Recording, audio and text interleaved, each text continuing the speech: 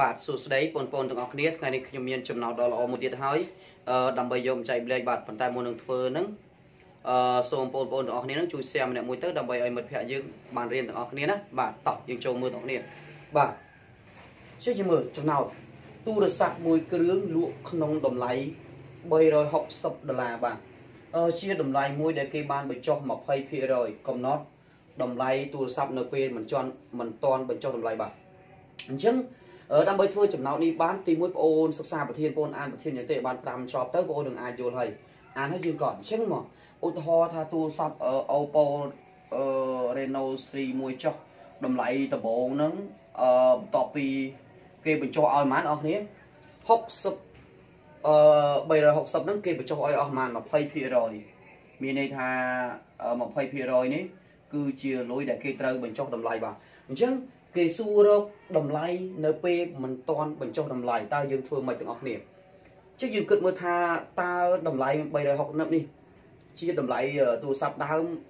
ពេលយើងចង់បានតម្លៃដើមវាច្រើនជាងហ្នឹងឬក៏តិចជាងហ្នឹងយើងសម័យមើលថា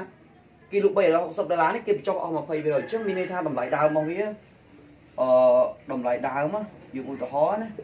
តម្លៃដើមឧទាហរណ៍យើងតាំងអីចុះបាទអញ្ចឹងមានន័យថាតម្លៃដើមឧទាហរណ៍យើងតាំងអី ដល់ពេលគេលក់ប៉ុន្មានបងប្អូនគ្នាលក់ឥឡូវលក់តែ360ដុល្លារទេសួរថាយើងរកយើងរកតម្លៃតំហយឃើញអត់ទេយើងត្រូវរកតម្លៃតំហយនេះគឺជាចំណោទតាក់ទងនឹងចំណោទសាមាតបាទជាចំណោទល្អមួយអញ្ចឹងតោះមកខាត់ពេលខ្ញុំចាប់ដើមធ្វើយើងម្ដងហ្នឹងអញ្ចឹងយើងត្រូវតាំងអីទៅបងប្អូនខ្ញុំខ្ញុំតាំងណាអញ្ចឹងយើងតាំងមកតាំងអីគេ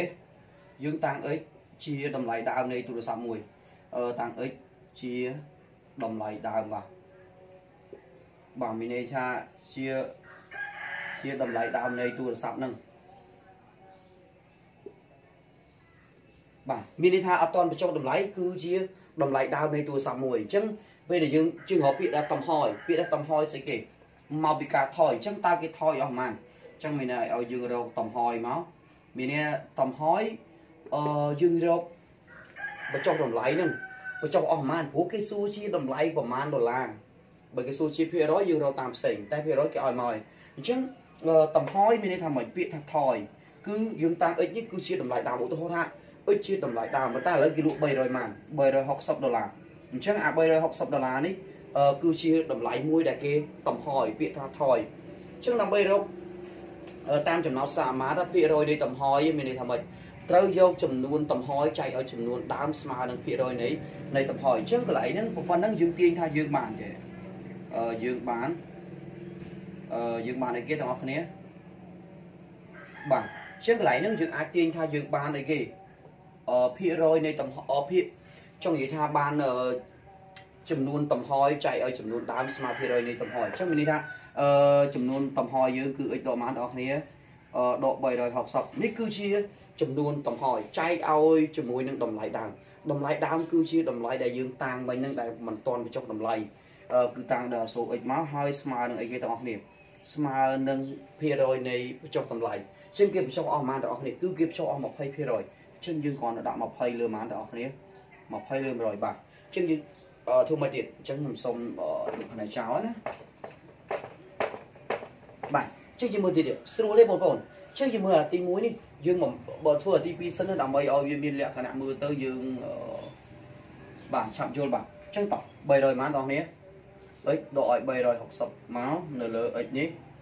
ស្មើឲ្យយើងមើលលេខនេះលេខ20ហើយនឹង100បងប្អូនសម្រួលសាមញ្ញហក01ចោលនៅសល់2ឬ10ប៉ុន្តែ2សម្រួលនឹង2មកបាន1 10សម្រួល2បាន5អញ្ចឹងកន្លែងនេះគេអាចសរសេរបានថាចេះអឺគេអាចសរសេរបានថា1លើ1លើប៉ុន្មានបងប្អូនគ្នាបាទគេអាចសរសេរបានថា1លើ5អញ្ចឹងណាអញ្ចឹងយើងធ្វើមកទៀតដល់វគ្គនេះស្រួលបំផុតទេបងប្អូនបងប្អូនគុណតាមវិធីសាស្ត្រម៉ាតមកអឺ គុណខ្វែងមកមានន័យថាចេះយកទូនេះមកមានន័យថាចេះសាក់មូទាំងអស់គ្នាមើលណាគឺយើងយក5នេះមកមកគុណជាមួយនឹង x ដកឲ្យ360មកស្មើឲ្យ x ស្មើឲ្យ x ណាដល់សារចេះមើលមិនបានស្មើ x x គុណ1ចេញបាន x តោះមកយើងធ្វើម៉េច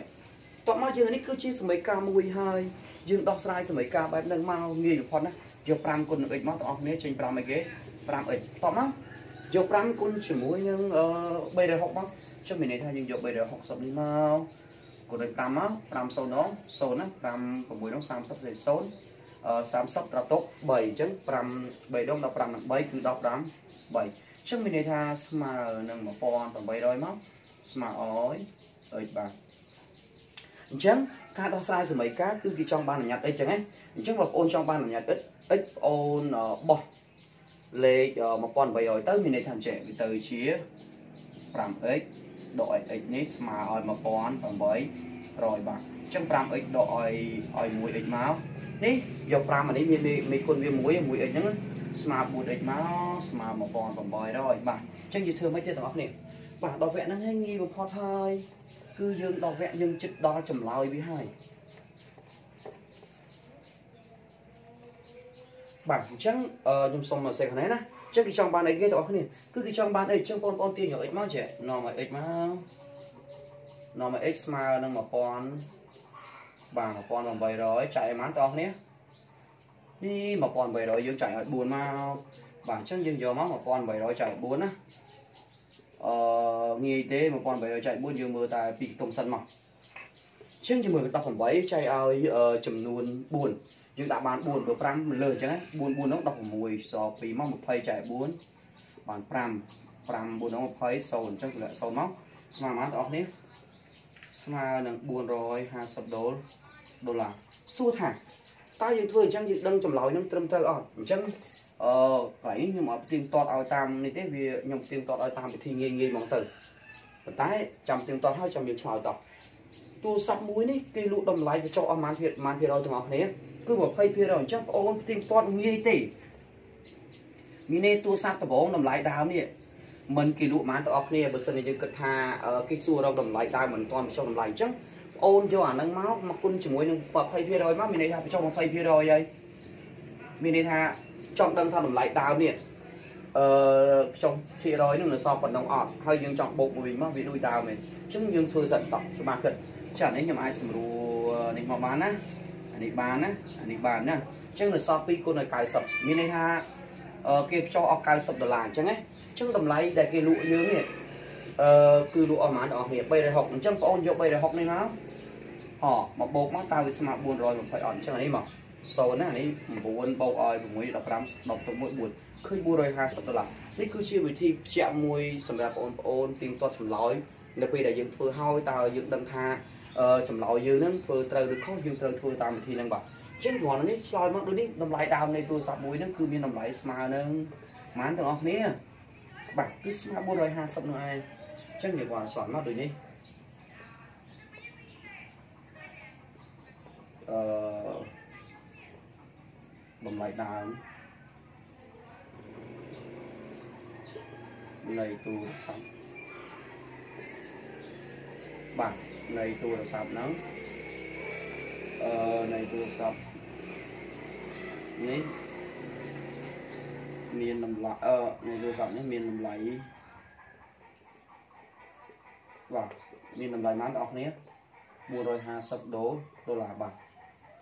បាទនេះគឺជាប្រភេទចំណោទដ៏ល្អមួយសម្រាប់បងប្អូនដែលមានបំណងចង់ខ្លាយគឺជាសិស្សបកាយក៏ដូចជាប្រឡងថ្នាក់ជាតិបាទហើយខ្ញុំសង្ឃឹមថាបងប្អូនទាំងអស់គ្នាយកលំហាត់នេះ ទៅអនុវត្តបាទសូមអរគុណ